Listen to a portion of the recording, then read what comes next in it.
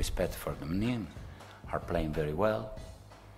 Uh, they play fast, and uh, it will be a very, very good match. Yeah, I'm looking forward to the match tomorrow because yeah, it's also a League uh, League Two team we're gonna play against, and uh, it's it's not gonna be an easy match in in no any way. I want to fight for every competition.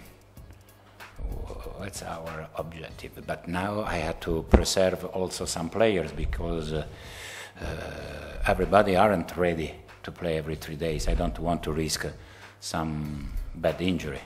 The cup is a is a is our chance this year when we're in the League Two to to to show ourselves and maybe get to play against the League One club. I believe in this group, and uh, I will give the, the opportunity to show me what uh, what they can do.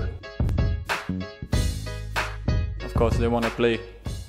They want to win, of course, and, and play a great match because yeah, it's Monaco who's coming to visit them. So and it's a cup match. You know, it's cup matches. They are always different from the competition because it's yeah, it's winning or or you go home and then you don't play any more cup matches. So it's always uh, there's always a another atmosphere around cup matches, and uh, it's going to be hard work. Yes, it's an important uh, month. No, I said that from the beginning. No, August uh, it will be a very important month for us.